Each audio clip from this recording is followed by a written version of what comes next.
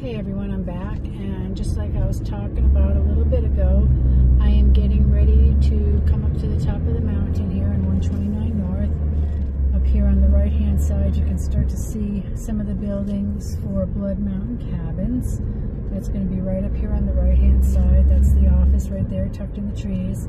And right where this car is parked is where I pick up and drop off people that are coming here again, Blood Mountain Cabins.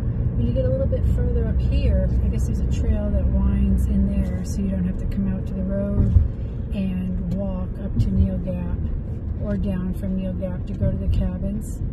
Um, that trail will pick up up here at the top of the mountain, kind of right around the area here where you see this uh, yellow sign right about here somewhere. I think it dips in right there to go This here, of course, is Neel Gap, Mountain Crossing, Walasi-Yi.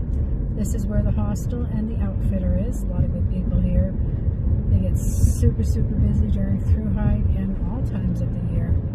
Um, people like to come down and get a pizza, a soda, whatever it may be um, during their times of operation, which are generally 9 a.m. to 5 p.m. every day. And um, down here in this direction that I'm heading is where the Byron Reece parking lot is.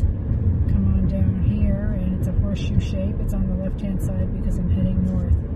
So um, first we pass the exit, and then a little bit past that is the entrance. So um, that's where people park for a lot of their section hikes.